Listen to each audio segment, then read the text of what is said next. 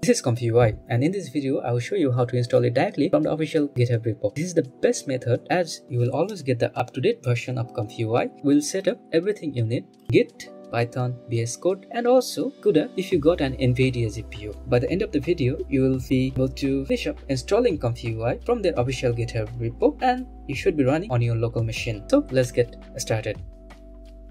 Before we install ComfyUI, uh, we need to fulfill some prerequisites. First of all, we will need to install Git. Git is basically going to be the one tool that is going to help us to pull the code from the GitHub as well as next time if there is an update, we can also pull the update from the github so now to install the git just go to their official website for git this is their official website for git i will definitely provide this link so just download for whichever operating system is yours uh, if it's for macOS, download for Mac. If it's for Windows, for Linux, just download for it. Uh, for me, I'm using Windows, so I'll just download for my Windows. So my download has already started. And also, we'll need to install, if not already installed, we need to install Python. ComfyUI uses Python, so we'll need to install the Python, the latest version of Python. This is the Python official website, and we're going to install the latest version of Python. Download, just click here because i'm using windows it automatically detects and i can just download for windows so it has started downloading and also we'll need an IDE.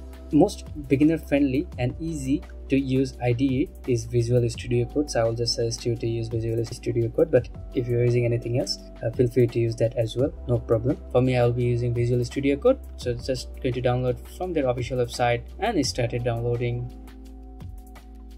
And also, we're going to need you to install NVIDIA CUDA. Go to their official website. I'm using Windows so I'll just select Windows then architecture x86 then Windows 11 because we're going to run ComfyUI locally. We're just going to select locally and we're going to just download from here. So now once the download start you just have to wait for each of these file to be downloaded and just install one by one. And after that we move into our next step so when you're done installing everything uh, now you're going to open up your Visual Studio Code. Once inside the Visual Studio Code, make sure you go to File and click on Open Folder. And you can just create a new folder. So as you can see I'm inside a folder. Now all you have to do is just go to your terminal click on new terminal so once you are inside your new terminal now go back to the ComfyUI repo and just copy this link and go back to your VS Code. Here you're just going to type git clone. You're going to paste your repo link and just click enter. It will automatically clone everything. So it's going to take some time because it's going to download everything. So it's just copying from your GitHub. Uh, remember we installed the Git. So Git is actually responsible for this. If you're using for very first time, you might be required to sign in using a git account. So just create one. It's very easy and simple. As you can see i'm already done installing. So i'm just going to go to my ComfyUI folder. So we are inside the ComfyUI directory. We can also go like this. You can just open folder. And inside your new folder you should have a ComfyUI you again go to your terminal and create your new terminal like that is also okay now as you can see we are also inside the ComfyUI whichever method you want you can do it. So why once you are inside the ComfyUI directory uh, if you see the directory you have all this code which might be as a first time if you don't have any knowledge regarding the coding and so on. It might be a bit confusing but no need to be afraid.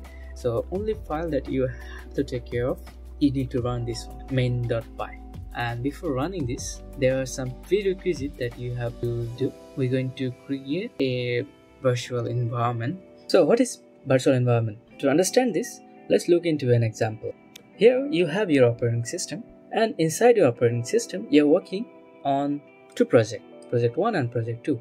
For each of this project, you're using different Python version as well as different libraries that is needed for that project you're using different version of that library in this example we are using for project 1 python 2.8 for project 2 python 3.14 and also you can see the numpy version is different in both projects now if we do a global install for both Python and also for the NumPy, the both of this project will share the same version, meaning that there will be conflict. For example, if we install Python 3.14, project 1 is not going to run. So vice versa. Now to tackle this, what we do, we're going to be creating virtual environment. Virtual environment is like a container So for project 1, you create a virtual environment 1 and for project 2, you create a virtual environment.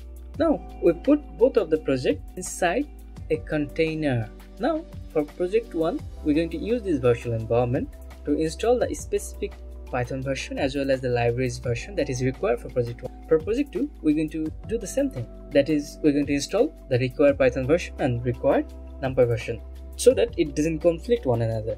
If we look into the definition for the virtual environment, a Python virtual environment is like a separate box for each project where you can keep the exact Python version and libraries that is needed for that specific project so that it doesn't create conflict with any other existing project that you might have in your system.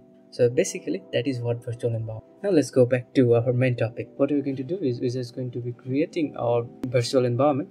To create a virtual environment, you just copy paste this one. And name your virtual environment. In this case, I'll just keep it simple, venv and that's it. So as you can see here, my Python was not found. So if you see this error, just come here and just change it to Py and it's going to fix your problem.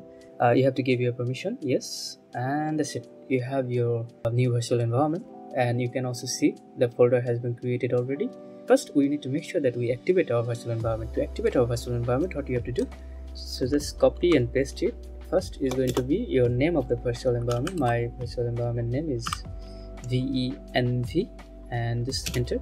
Now as you can see my virtual environment is activated. So there is one more step you have to do come here and you see this requirement.txt you can see there are many python dependency or libraries that this code base has been using. So we need to make sure that our virtual environment actually has this installed so that our code can run.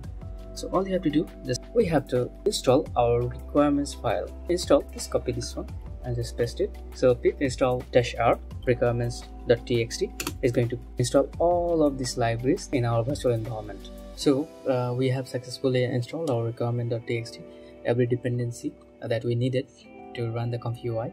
Now we have to go to the UI GitHub page again one more time. Uh, once you are inside, you just scroll down. Here you can see the guide on how to set up everything. For example, if you're on AMD GPU, you have to follow this guide. If you're using Intel GPU, you have to follow this guide.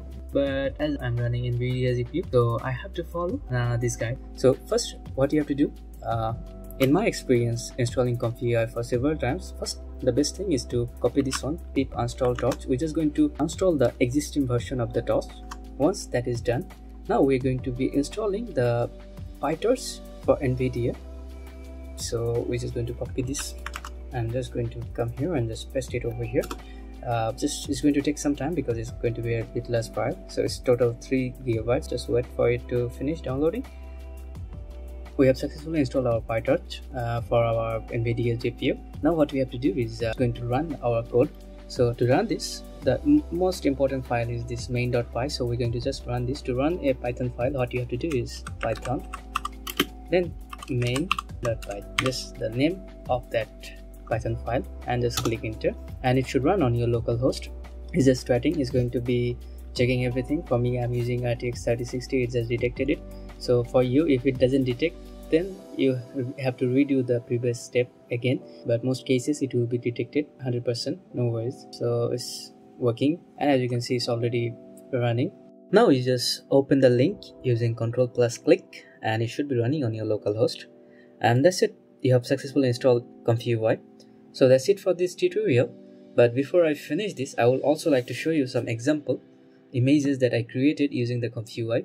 I was using a Stable Diffusion model, one of the popular image generation model and I was using a text to image workflow that I got it from ComfyUI official website. And here are some examples that you can watch. And again, thank you so much for watching all the way through. And if you want to see part 2 of this video where I set up a new Comfy UI and also share some tips and tricks, let me know in the comment section. And also if you have any suggestion, also feel free to suggest. And that's it for this tutorial. Thank you so much for watching. See you on the next video.